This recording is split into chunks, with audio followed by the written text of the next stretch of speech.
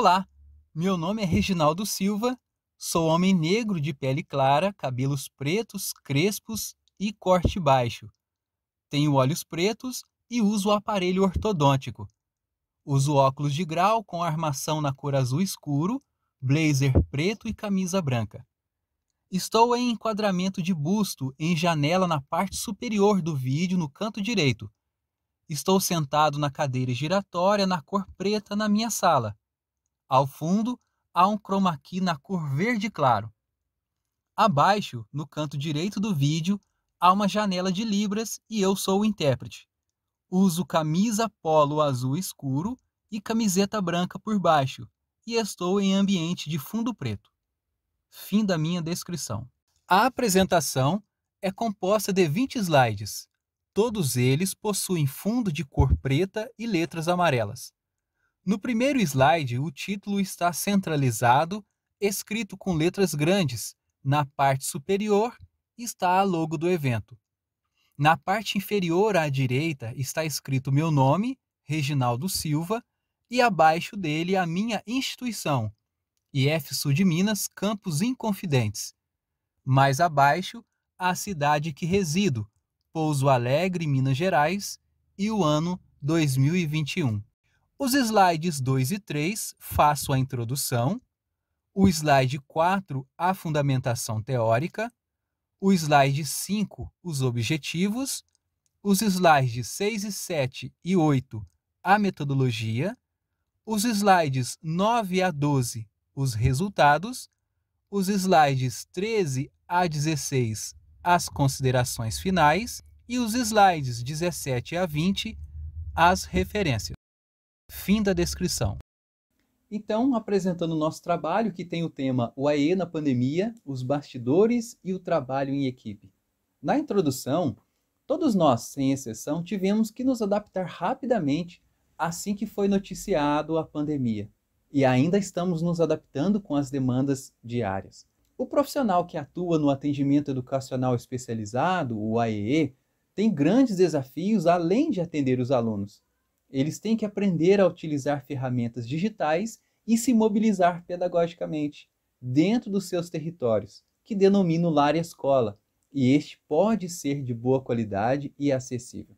Nessa demanda complexa aparece a inclusão menor, que é, abre aspas, uma inclusão diferenciada que é tecida diariamente nos diversos e distintos espaços onde a aprendizagem é germinada. Fecha aspas, ORU 2020, página 132.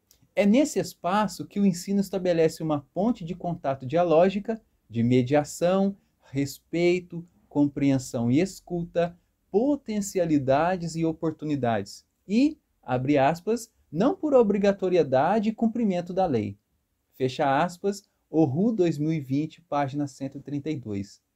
Na nossa fundamentação teórica, neste trabalho qualitativo, além da legislação vigente no Brasil na perspectiva de educação inclusiva, trago nas minhas observações a base teórica no que diz respeito à inclusão e o trabalho profissional a partir dos autores Ana Cássia Mendes Ferreira, 2011, Paulo Freire, 2011, Silvia Esther Oru, 2020, Francisca Janaína Dantas Galvão Osório e outros autores, 2020, Maria Verônica Pascucci, 2017, e Edivane Pedrolo e outros autores, 2021.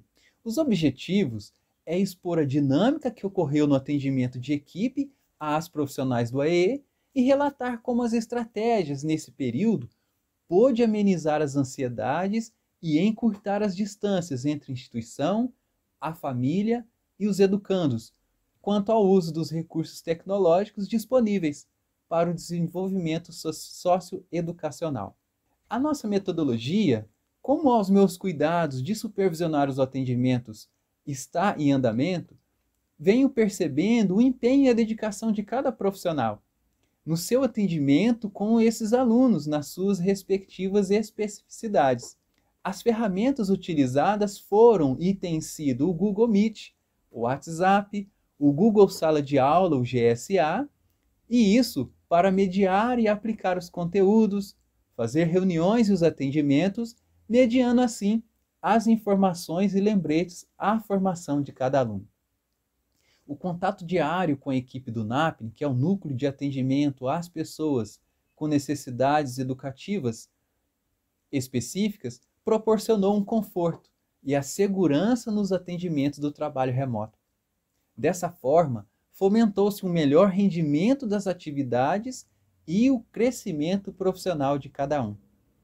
Sabe-se que em quaisquer ambientes que nós trabalhamos, ainda que este nos dê a satisfação de estar e o prazer de poder mediar as informações e aprender com elas, nesse período principalmente, refletir como nossa saúde, sobre nossa saúde, tem um desgaste físico e emocional, e isso é importante refletir.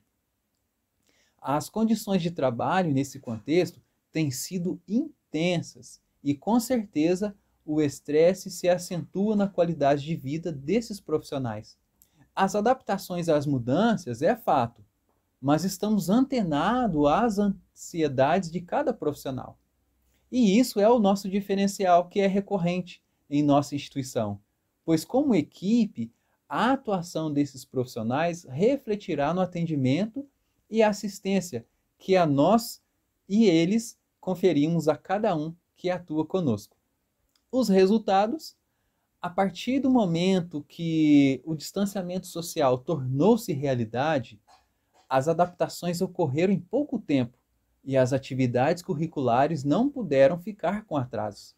Mantendo a premissa e o ensino de qualidade e o atendimento às especificidades de cada aluno atendido pelo NAPNE, o trabalho em equipe possibilitou o atendimento contínuo e proporcionou um acolhimento de todos os envolvidos.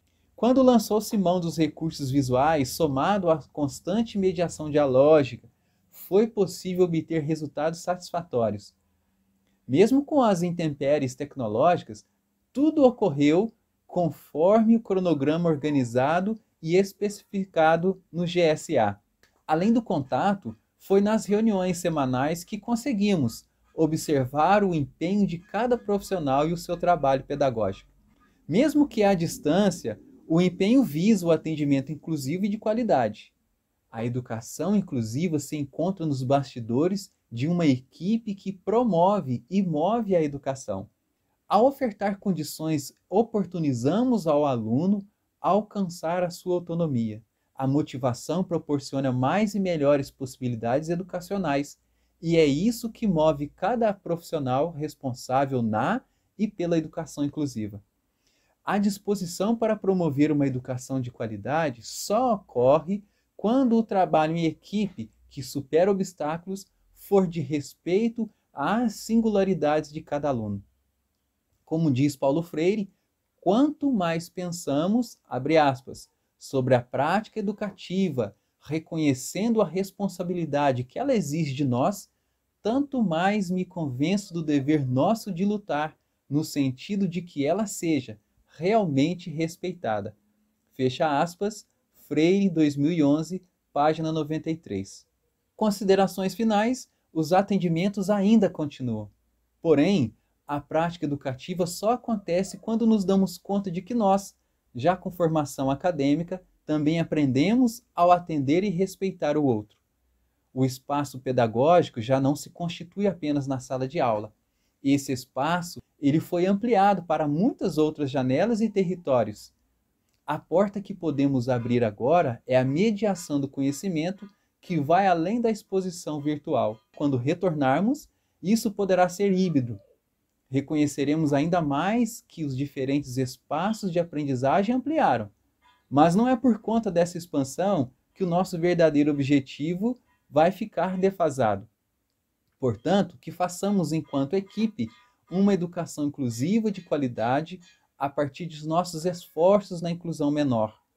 A nossa atuação visa sempre o desenvolvimento do outro, possibilita a ele ser protagonista de suas ações e que a nossa atuação em equipe fortaleça a criatividade e a produtividade pedagógica, que fomente o ensino, a pesquisa e a formação de cada sujeito, dentro ou fora de uma instituição responsável e inclusiva, e na sociedade como cidadão de direitos e potencialidades.